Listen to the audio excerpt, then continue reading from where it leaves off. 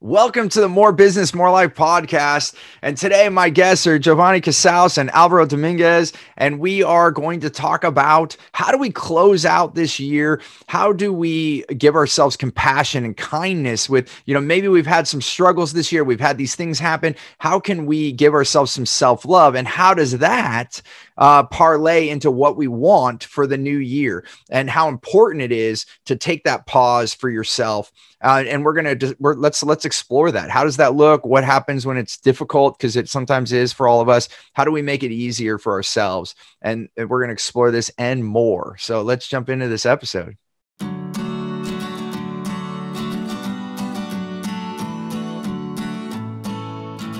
Hey guys, uh, great to have you on the show today.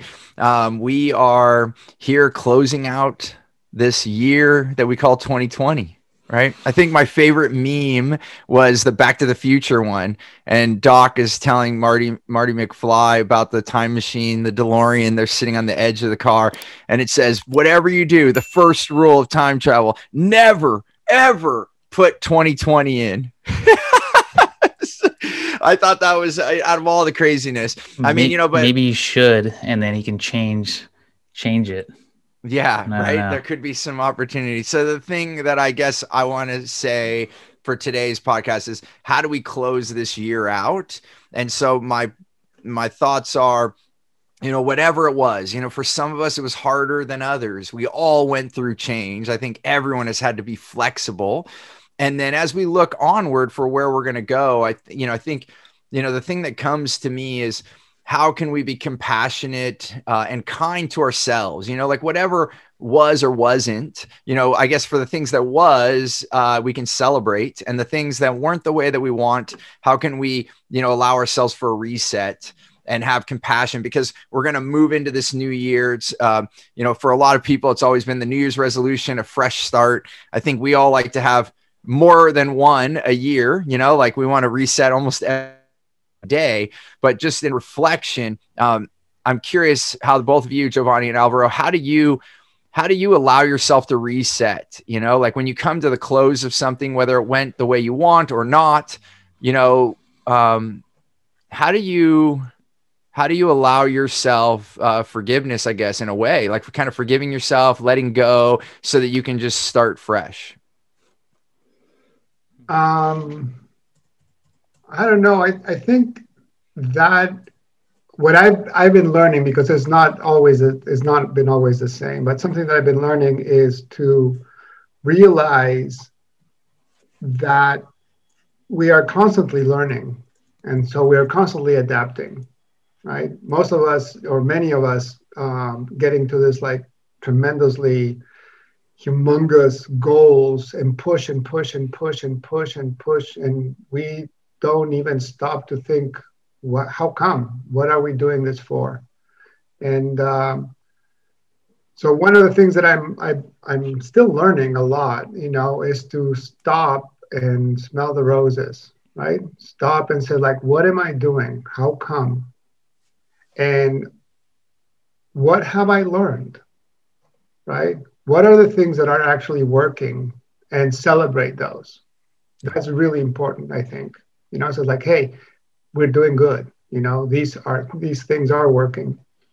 And the other one is like if the things are not working exactly how we want them what how we would like them to look? How would how would we like them to be? And that is a, um, what i'm finding is that that is a really important reflection that allows us to make those you know tiny changes because nothing is drastic, just like those small changes that have those big results. So that's how I would say. And I, I love what you're adding in here to the conversation, and Alvaro, it's beautiful because, and it's what I found, and and I'll get, want to get over to you, Jovanni. I found it like just even recently. Well, one, just overall, I've seen it like dozens of people really rethinking their life in this year because you that whole why, what am I doing? Has become even more priority during all these changes. But then I also noticed uh, just this year, a lot of us got busy doing stuff. Some people like never had homeschooled their kids or different things. So like there was a lot of busyness in this year, like because of the change, people got to work and not everyone, but some people were ended up having more work, even though some people were out of work. I know a number of people had more work and then they're they're coming to me. A lot of people are coming for consultation. And the clients that are coming to me they're saying steve we're having trouble planning. And you know what i've noticed alvaro to your point they're not pausing it's hard to make a plan if you don't pause. It's yeah. like not having a huddle. It's like go to the next play. Well, what are we doing? It doesn't matter. Go. And then you're like go. And then and, and if you're go go go in your life, you're not actually taking the time back, like you said, to smell the roses. And in smelling the roses, taking that pause, that permission to pause, you're able to then start strategizing for the next step. And, you know, I find many people that say, I, I can't figure out how to get a plan. They most likely haven't taken enough break to take that time, you know? Yeah. So, yeah, definitely. I don't know if you want to, or if you want to comment on that, Alvaro first, or Jovanni, if you wanted to jump in, but go for it, Alvaro. Okay. okay. So, um, yeah, if you give me a rope, you know, I'll take it. yeah. I saw your face. You're like, I, I got more. I got more. Go, go for it, brother. Um, I think that um, we, it's so important to, to, to stop and reflect back where we are, but also, and, and this goes together, like, where are we with others? right? Because so many times we just get, you know, in this go, go, go about whatever it is that we have on ourselves, right? And everything is about what we need to do. And we don't get we don't get engaged enough with all the significant others that we have in our lives. And uh, we put like priority work and we sacrifice many times our most precious relationships with our families and with our friends. And uh, which means that we're putting ourselves, you know, on a second plate and we put our responsibilities up front. And that has a toll. That has a huge, huge toll in uh, how we feel, in our productivity, and uh, in our whole life experience. And uh, so, you know, that uh, that's putting a, a pause for a second and it's like, hey, where are we? How are we doing? And reaching out and celebrating uh, being with others. And particularly this year that has been so weird, and we've, uh, by need, we've had to isolate, right? And right now, for me, it's so precious to, you know, the few times that I have, you know, to interact with people, and uh, which is barely with on one on, on a physical basis, right? Yeah. But those that have fortunate to to have that, you know, family and stuff like that close by, wow, you know, uh, I don't know. Yeah, no, I, I, I agree. You know, how many times I've put, you know, the people that are most precious to me to the side it, it's it's taken for granted and it's not like a conscious decision but it's like oh they're there so i better work on this now because they're they're all they're there you know it's like some it's almost like uh you rely on that but it also uh sacrificing that too long and i had in, in previous parts of my life when i was complete workaholic sacrificed it to a point of break point you know where it wasn't going to work and even now, as you're saying that, I'm loving the words. I'm like, you know, taking notes over here myself because, you know, it's just another reminder like how many times can I give more time to those those folks that are most important to me, just like I would to clients. And there was a period of time in my life where I would put give more time to clients than my own uh, you know, people that are the most important to me, like my wife and my kids.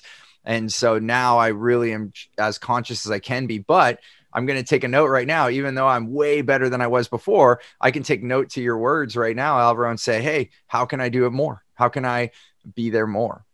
What what do you think jovanni? What's what's the best way like you know so if you're reflecting on this whether it's hey i didn't give enough time to my significant other or i didn't do this or whatever it's all those i didn't do this i didn't do that i find a lot of people get to this end of the year you know either someone's celebrating they're like oh my gosh i made it through 2020 and i want it to be over or they're reflecting and saying all these things that shoulda coulda woulda. Um, if those things pop in your head jovanni and i don't know if they if they do but if they how do you reset? How do you give yourself self compassion and say, "Hey, I'm going to reset and I'm going to allow this and and just be." What, what's your best strategy? Um, I don't know if it's always conscious when I do do it. Um, I think a lot of times is just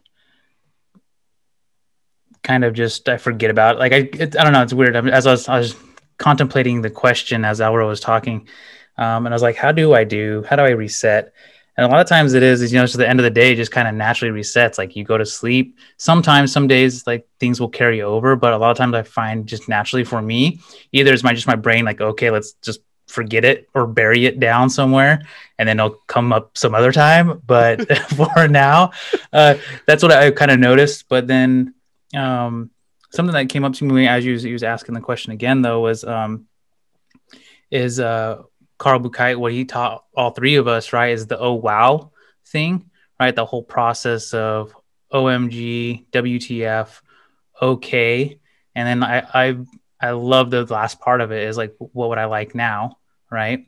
Um and I when I first learned that I seriously and I think we've I've said this on the podcast before, like I was like telling every person I could who would listen to me, like, "Hey, I just learned this new thing. You'll love it. It's called Oh Wow," and like just explaining the whole thing, and like, like, "Oh, that's kind of cool." I'm like, everybody goes through this process anyway, but nobody, like, very few people actually do the last part of, well, actually, the last two parts of saying okay, and then what would I like, and that what would I like part, I think, is a, is a huge thing for uh, for me, just because, okay, if I am, if something does carry over from the day, the week month, year, whatever. I'm just like, I'm still in the same fuzz, like, okay. Once I finally accept it and just saying okay, and then I ask myself that question, what would I like instead, or what would I like now, or what what how do I want to feel? What would I want to what would I like to feel? Like it gives myself to pause and actually really think about it. Okay, what do I want instead? And then allows me to kind of, okay, I'm tired of feeling this way. Let's try something else. Um, and so that I think is, I don't always do that consciously these days, but I think it's always kind of running in the background. And then when I am conscious about it, then I do ask myself that question, and it's it's been really power, powerful for me to kind of just ask myself what I would like. And I think that in itself has that self compassion because you're asking yourself instead of just keep beating yourself up like, oh my gosh, I'm sick and tired of this, and then you just go back to doing the same thing. When you ask that question, it almost allows yourself to let that go. It's like, okay, I am tired of this, and that's totally okay to be tired of something that you don't want anymore, but then asking yourself, what would I like instead, or what would I like now? Like just allows, I don't know, for me, just a lot of a lot of stuff starts moving, and it just I think, yeah, as we're talking about it, it just allows the compassion to yourself. It's like, yeah, it is okay to ask yourself what you would like. I think so many people do put themselves on the back burner, right? As Alvaro was saying, um, even not just our loved ones, but ourselves, right? Because right. even when right. we're working and like if you're a workaholic, you're not just neglecting your family and stuff. You're usually neglecting yourself. You're not taking care of your health. You're not taking care of your mind. Not usually not taking care of your spirit, like all that stuff. So uh, within that whole, oh wow, like it sums it up all for me. Like brings it brings it back.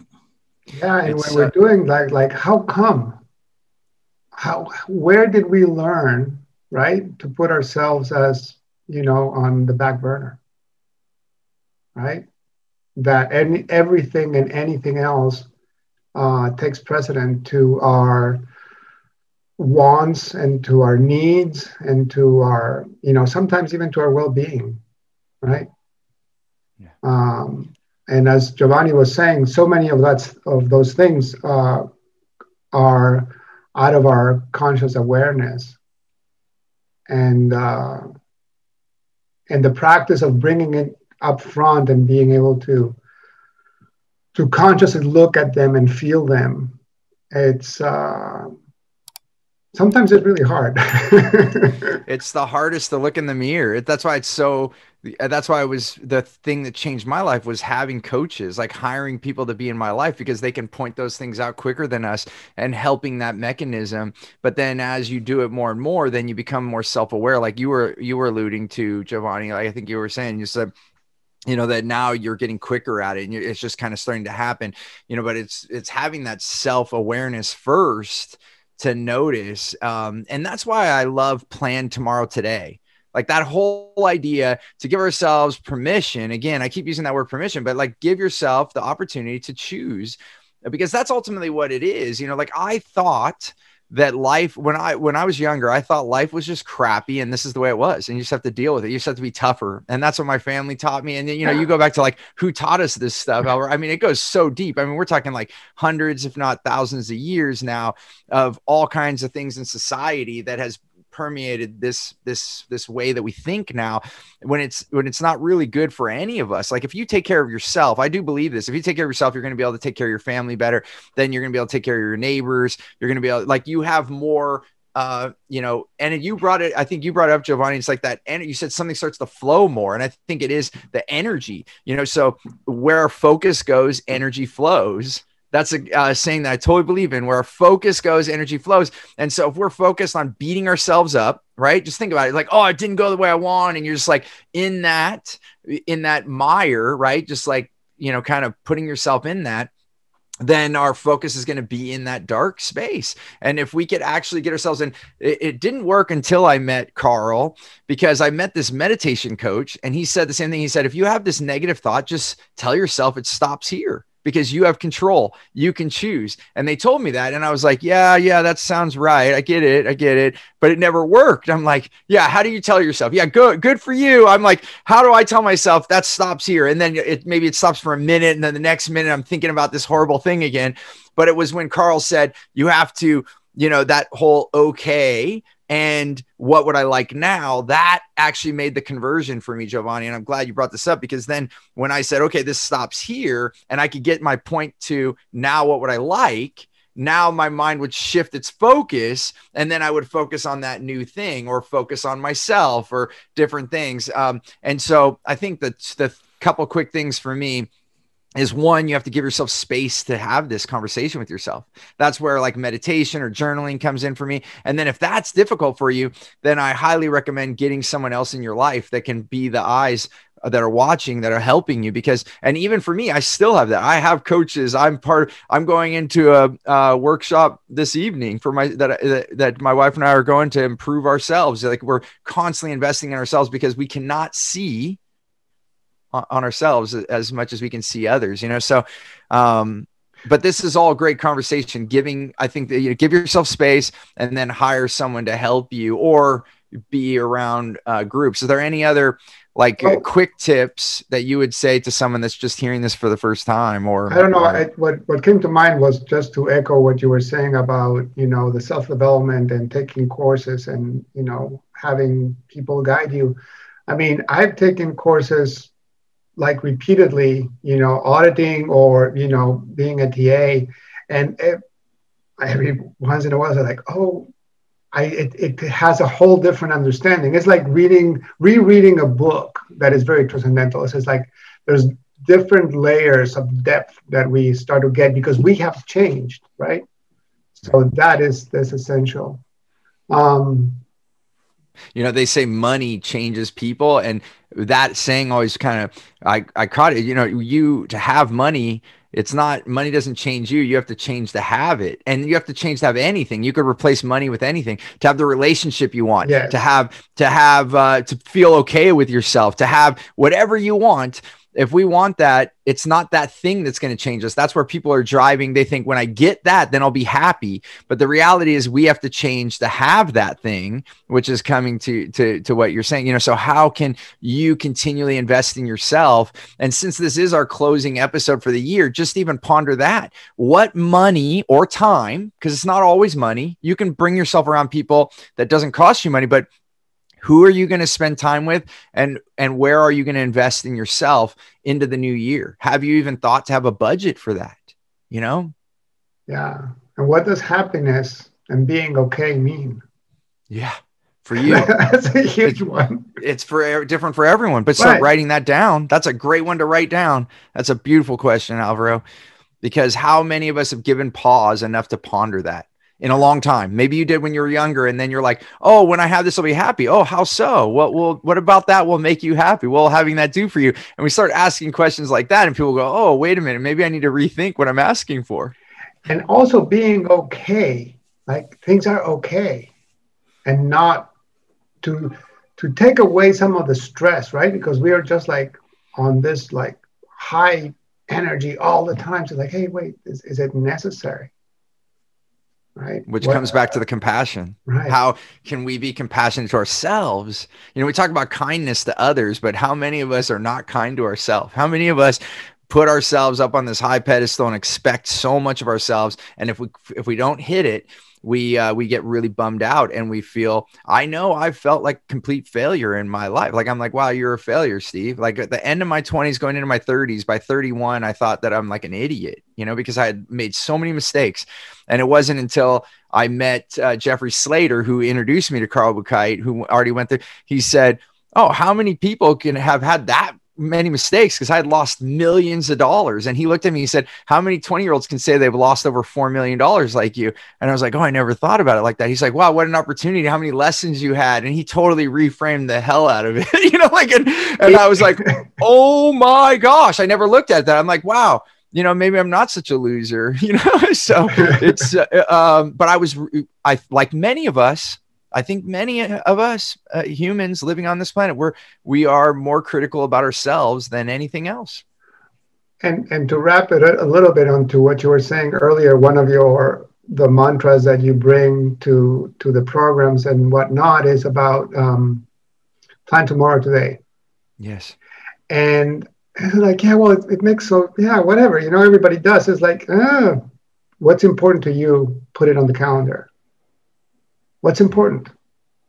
And that just that exercise really has to when we start doing it starts to shift our own relationships. Like okay these are the things that are important. And everything can change. That's the other thing that we have to um, that is important for us to to realize. Nothing is really static. Even the things that we want them to be static they're not and for a good reason right because right. we are creating them as we go. So. so so beautifully said.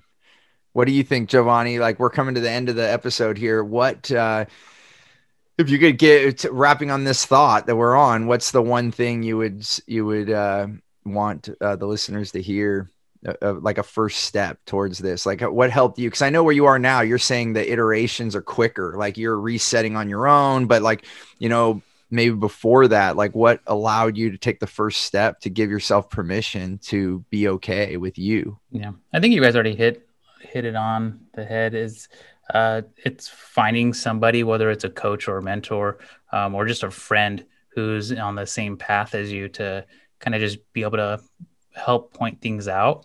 Say hey did you just notice that you you did that? Or hey man you're like really beating yourself up for that like just allow yourself. We can bring in the five minute wallow, right? Give your time yeah. to feel it, really feel it. And then once the five minutes is up, then you ask yourself the question, what would I like now? But I think, it, I think unless, which I think if you're listening to this podcast, you're already on that path of um, quote unquote betterment or self development or whatever it is you want to call it. But it's like, I think you have to be on that journey first, um, or at least starting that journey to even recognize that something's going on, right? I think for me, it was, it's been like what, maybe nine, ten years of this self development journey, you know, to where I'm at today. And it will continue on to the rest of my life. But it's that's wanting to know more about yourself, the, the good, the bad, um, and just wanting to have, have or be better yourself, whatever that means for you. Um, but I, I, think you have to be on that path to start to recognize the stuff that's going on, or maybe recognizing the stuff that's going on will help you start the path. Yeah, I don't know. So it's it's a mix and it's different journey for all of us. We're gonna recognize something. I think like Alvaro, you said it right on this podcast that you know you could take the same class, you could read the same book, you could have a conversation with the same person, and they could tell you the same story, and then all of a sudden something's gonna be different. And that's why I think that's saying the the uh, the teacher appears when the student is ready. Yes. And that teacher could be the same teacher, but it comes as a new teacher because the words land so much different uh, in different ways, you know. So I think um, this has been a beautiful conversation and just some bullets to take away from all three of our uh, of us is you know number one give yourself time to pause right i think you if you could do the best thing before the end of this year or maybe it's on new year's day give yourself some space give yourself an hour or two or you know if you can more and just uh, go on a walk with yourself or just get a journal and then just you know start off with the things maybe you did maybe if that's coming top of mind the things you didn't like you know the things that you'd like to wash away or learn from you can write those down. That's where that five minute wallow that jovanni brought up. Just give yourself five minutes to write all those things down and then maybe another five minutes to think about what you're grateful for and then i would say what would what would you like? You know start writing down those things to start pondering what you would like. And then the one that i would like to add that we all brought up is like who would you like to be your mentors and maybe you start off by going and getting their book if they have a book or you know uh, finding time to have a zoom meeting with them or if you can uh, meet in person, whatever it is, you know, find those things and look them up. You know, I didn't used to do this, but when I read a book now and I'm like, it's really profound, I look the people up. I'm like, are they accessible? Do they do coaching? Do they take calls? Do they have workshops? I start looking them up now. I didn't used to do that. I'm like, oh, this is an author. They're unreachable to me. No, they're not. And many of those authors, they put the book out because they want to help people. So look them up. They probably have a, a class, they probably have a workshop. Go, go change your life. It's your choice right? So if you put anything on the, the docket for 2021, put you, put you on your calendar. Yes. Yes. Right on. Thank you guys for having this conversation. Um, everyone, I hope you're finishing the year with some smiles and some self hugs. That's what hopefully this episode brought. And we will look forward to having more podcasts next year. I will, we'll, uh, we'll have the next episode next year. Thank you guys. Thank you. Thanks for listening to the More Business, More Life podcast. I hope you got value. And if you did, we have so many more things for you at stevenapolitan.com. You'll be able to connect with us on social media. We are active. You can ask us questions. And then on top of that, I want to give you a really big gift. And it truly is. We want to give so much value. We have an offering, it's a program called clear path to customers. It's the same way that we attract wow clients and only working with the right people, the people we want to. And it's transformed my business into millions more in revenue with the right people and my clients. And we're doing it absolutely free. So you can go to stevenapolitan.com and grab that. You just got to put put in your information. We'll send it to you promptly. And that again is on I look forward to having you on the next show. Until then, remember choose gratitude and create freedom.